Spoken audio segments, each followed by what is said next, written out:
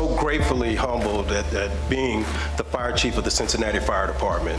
Um, it's something that I do not take lightly, very proud of. Just as you will hold me accountable, I'll hold the department accountable, and they will hold me accountable. From WLWT, this is Let's Talk Cincy, presented by Western and Southern Financial Group. Put our financial strength behind you.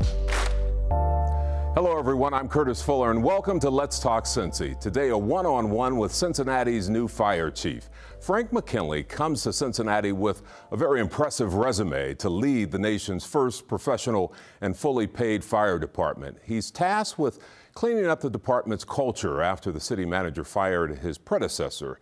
After a six month nationwide search, McKinley was chosen out of more than three dozen applicants. In selecting Chief McKinley, the city manager said the community and this department are ready for a fresh start and a new voice of leadership. And that I will faithfully discharge my duties as a fire chief my duties as a fire chief of the Cincinnati Fire Department of the Cincinnati Fire Department and with that, a new era begins in the long history of Cincinnati's fire department. Frank McKinley, sworn in as the department's 19th fire chief. It was fitting that this ceremony happened in the Fire Museum, a place that preserves the legacy of the first full time professional fire department in the nation. And it's clear McKinley understands and is grateful to be a part of that tradition. Wow. Uh, I'm so gratefully humbled at, at, being the fire chief of the Cincinnati Fire Department.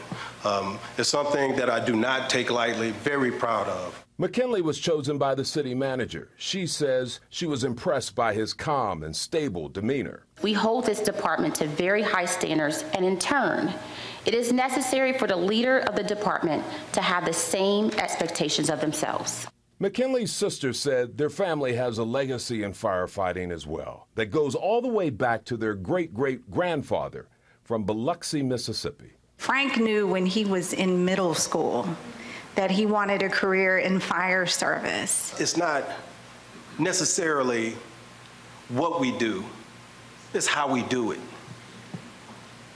Maintaining the dignity of civilians and, and patients and customers when we come in contact to the public is very important and is something that I, I, I hold in high regards.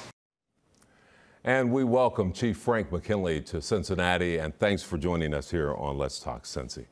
Uh, I, I, start with your sister saying that you wanted to go into firefighting in middle school. Talk a little bit about that, because I know there's a great legacy in your family. Uh, yes, one of the uh, most influential uh, members of my family is one, one, of my older brothers, and he was in the fire service. He began in 1981 with the Dallas Fire Department, and having the opportunity to visit him and to uh, visit some of the uh, fire stations at the time really impressed me, and uh, to be a, a, community, work in the community, and be able to uh, deliver services to the public uh, really stood out to me, and it was something that I was very passionate about. And early on, it was something that I knew that I wanted to do. But it goes deeper than that. Yes. Great yes. great grandfather, Biloxi, Mississippi? Yes, sir. Yes, sir. And um, I actually found out about that after I was already in the fire service. And so it, it kind of uh, really stood out to me that this has been in our family history for a very long time. And so I'm very glad to be a part of uh, public safety. Cincinnati has a great reputation for its uh, fire department. You come from Dallas. Uh, you were there almost 30 years, much larger department. Talk about uh, the differences between a Dallas and then coming to a Cincinnati. Um, Believe it or not, there are several similarities. Uh, some of the uh, uh, ways that we function, some of the programs that we have, uh, the communication systems, our, our, CAD systems are similar. Uh, Central Square is a, a, CAD system that we use. And so a lot of the interfaces and nuances and how we do business are very similar. Some of the EMS systems and the service that are uh, provided in Dallas versus Cincinnati are, are somewhat different, but they both function with the same concept. And so while there, it, it is a, a, much busier probably in Dallas. It, it's still uh, a real important service, especially when we talk about EMS that we deliver to the public. And so we are evaluating how we deliver uh, those services and making, making sure that we can do it in a, a, the most efficient way. So that's extremely important to the department. I was asking you, had you ever been to Cincinnati before you came up here uh, uh, back in September? And you said, no, not really. I, I, I, had never been to Cincinnati when I first moved here. Um, and when you get off the plane in northern right. Kentucky, you're right. That's a jolt, huh? Right, right. I, I, I, thought it was hilarious, and I said, "Here I go, getting off to a bad start. I got on the wrong plane." Uh, but again, I was pleasantly surprised uh, coming into Cincinnati. Uh, it's just so picturesque and it's beautiful. The landscape, the topography, the hills. Uh, I was very impressed, and the culture here in Cincinnati. Uh, everyone's friendly. They speak. They're, they're very outgoing, and so, and so I, I really really appreciated that aspect of it, and, and, everyone's making me feel really at home. Well, that's good. That's good. Um, going back to the Dallas department, you had a, a, huge budget there, probably half of that budget for a Cincinnati, um, give or take. Um, I, I, would imagine that comes with its challenges uh, when you're faced with so many needs in a, a fire department. You know, you order, people might not realize it, you order a fire truck and it doesn't get here tomorrow. It takes a couple of years for that to come. So you're uh, you're faced with a, a, lot of challenges just with equipment and things of that nature. Right, and um, and so that's what we're doing as a team. I, I have a, a, very outstanding command staff, and we have these discussions, realizing that we have to do a good job of projecting our needs for the next two to three years. You know, we're looking at 24 to 36 months and being able to get in uh, fire trucks and fire engines and things of that nature. And so it's important for us to be able to forecast and project our needs in two to three years. And so uh, we look at opportunities to, to be comprehensive, uh, um, leveraging some different options to, to make sure that we can get the highest quality equipment so we can provide these services to the citizens. We're going to take a break and we're going to talk a little bit. I know that you've been out and about in the community talking with people. You said you wanted to really listen to what folks in the department, outside the uh, department, have to say. We'll talk a little bit more in just a moment.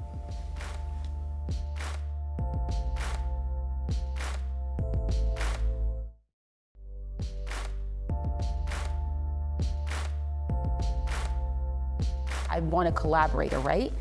And so for me, out of everyone, and we had, we had, I think it was maybe 12 applicants that we had. He just really had a steady hand and had a, um, a disposition to where he just really wanted to lean in and take this organization under his wings and really support it. Welcome back. Uh, with me is Fire Chief Frank McKinley. Uh, we are just talking, this is his First chance we had a chance to just sit down.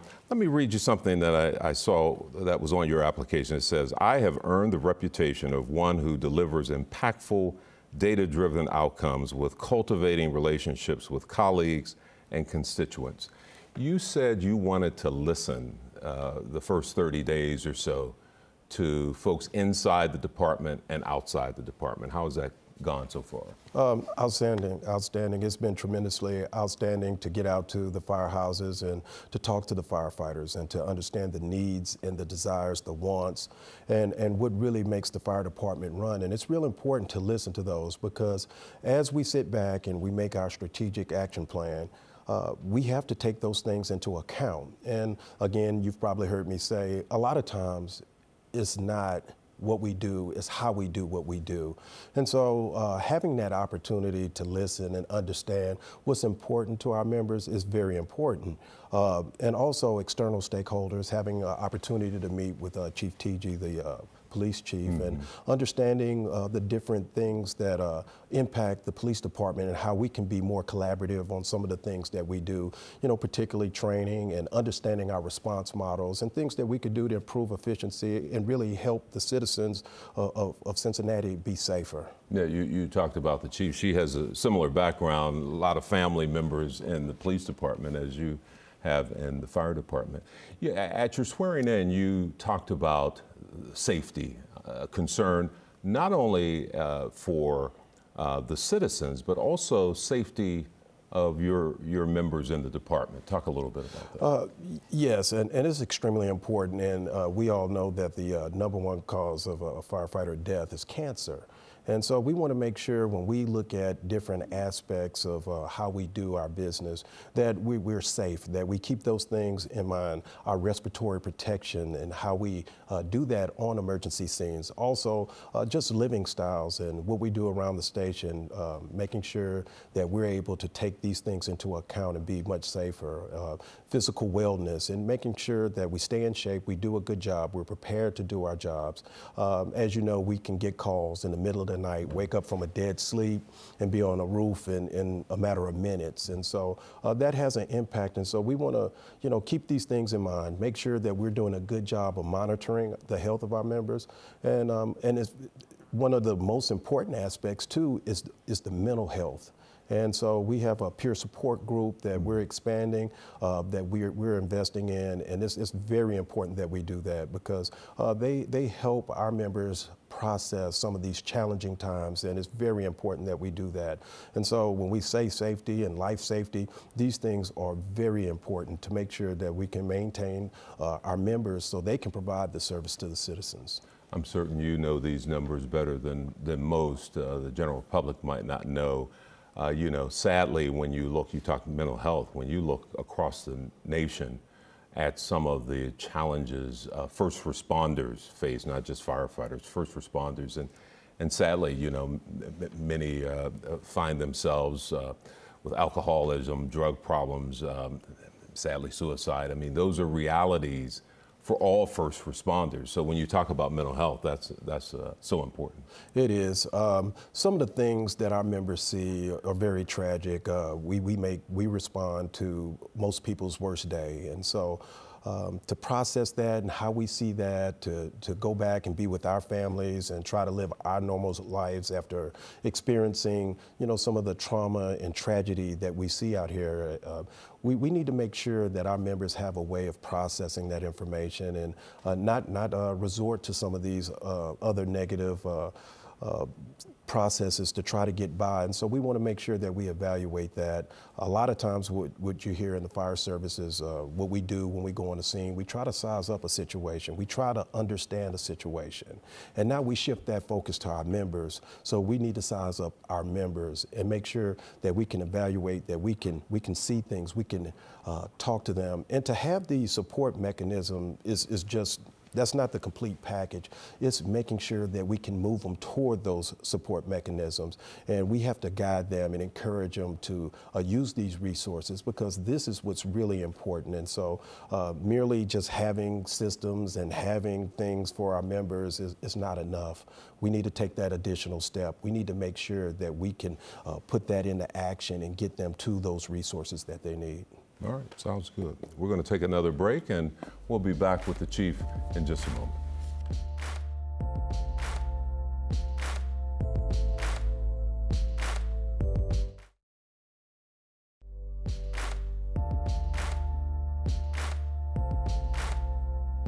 I was really intentional with this interview process. We made sure that we had, we opened up, usually in an interview, you want people to do the research on their own, right? But I wanted to see how people's brains work. And one thing about um, Chief McKinley, the incoming Chief McKinley, is that first of all, he was cool, calm, and collect. cool, calm, and collect. hey, um, I mentioned at the top of the show, obviously, you, she talked about doing your homework, so you know the challenges that the department has, recent challenges that the department has faced. I know you can't discuss those, but you, you, you, you've made a point at saying uh, women in the department need a voice. Um, trying to increase those numbers in the department. Just talk a little bit about the culture of the department. You talked about accountability, how you want to address that accountability, and in reverse, they'll be holding you accountable. All right, and, and I believe that there's their power in words, their their power um, in being having a seat at the table, and these things are important. And uh, the first 30 days, one of the things that I've done is uh, I've, I've, met with a, a, lot of the employee work group organizations, uh, uh Local 48, the, the union. I've also met with ERG, which is a, a women's work group, and uh, I met with CAFA, the, the Cincinnati's African American Firefighter Association. And it's real important to listen. Um, and, and, and listen to the voices and, and understand the things that impact uh, individuals. And so uh, being able to uh, look at it from a granular level, everybody doesn't have the same needs. And so making sure that, that you can hear it clearly, making sure that we can provide the resources, making sure that you can understand the culture, then you can analyze all the information and come up with the best processes. But you, it has to be a continuous circle to where um, you, you get feedback. Because again, we can go out and create a lot of plans, but how do we know if those plans are effective? And uh, uh, when it comes to women in the fire service, uh, that's very important. And, and, and, simple things like people saying firemen. Mm, you know, we're yeah. firefighters, and, right, and right. I like to hear that, or manpower, you know, personnel. Uh, just changing, you know, small things to make, make sure that everybody feels welcome. Um, uh, one of the things that are, is very important to me is making sure that everybody has that opportunity to be their unique selves. And uh, I don't think that uh, people have to necessarily assimilate to, to what they think, you know, firefighters are. I think that you should be able to be your unique self. And that's what uh, makes that work environment more pleasurable and make, make people look forward to come, and, come to work and, and do a good job. So uh, that's, that's what this listening and learning tour is about, mm. is to be, be able to break, break it down to a very granular level. You know, uh, um, Cincinnati uh, can be a tough crowd at times. uh, folks won't bite their tongue. Uh, beyond asking you whether you're a, a, Cowboys fan or are you now a Bengals fan, they'll ask you that eventually. But uh, I would imagine that you've been challenged by some folks to, you know, what you're going to do. I mean, they, they, they won't hesitate in coming forward and, and expressing what their concerns are and finding out what, what you're going to do as well. Oh, well, yes, foundationally, uh, there are things that I'm going to do. I'm going to make sure we ensure safety. That's one of the things that I've, I've discussed. Uh, also, customer service, and mm-hmm. um, kind of to break customer service down into two different facets. Uh, there's internal customer service. We have uniform and non-uniform mem- members of the department, and uh, everybody can't be the race car driver, and so you have to pull into the pit. You got to get your tires changed. You got to get fuel. You have to do these different things, and so it, it's one mission, one team, um, and I want that concept to to be uh, hold, hold held closely because that's very important. And so when we talk about external customer service, making sure we're professional when we go out and we come into contact with uh, patients or customers or just citizens asking questions. And so we want to make sure that uh, customer service is always in place. And again, all of it ties back to equity and inclusion, mm. you know, making sure uh, that, you know, we, we dedicate the resources equitably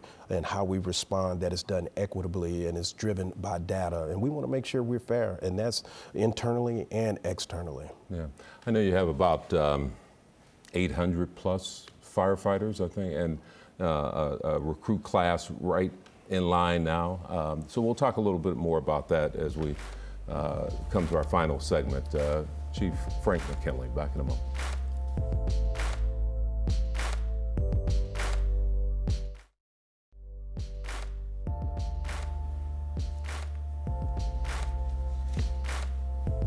Welcome back, everyone. It's a pleasure that we've been talking to Cincinnati's new fire chief, Frank McKinley, uh, just been on the job about uh, a month, less than a month actually.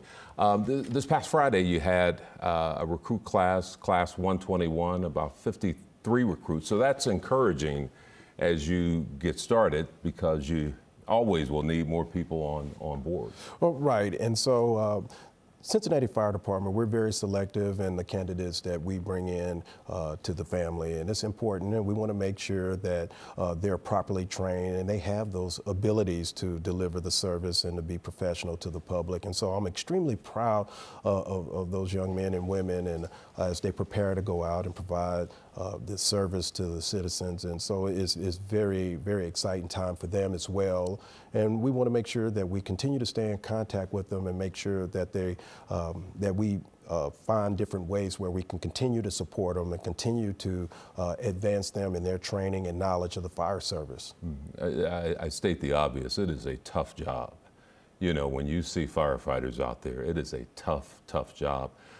But a rewarding one. Obviously, you've been in it for, yep. for so many years. Uh, talk about that a little bit. Uh, it's, it's very uh, rewarding. It's, it's, a, it's a profession that's filled with pride and, and respect. And uh, as we, you know, go out into the community, we love to wear, you know, our shirts, our, our hats, and things that represent the department. And so, um, and that's one of the things that we continue to uh, communicate to our, our rookies when they're in training.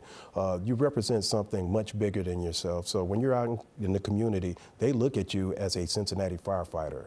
And so you're held to a different standard, uh, uh, whether we like it or not. But we have to understand that. And the way that we conduct ourselves on and off duty is a reflection on the dep- department. And so it, it, it's very fun to, uh, you know, tell our friends, especially when you go back um, home or go to class reunions, what do you do for a living? Hey, I'm a firefighter. And, and it, it is, is very respected uh, profession. And so there's a lot of honor that goes into that.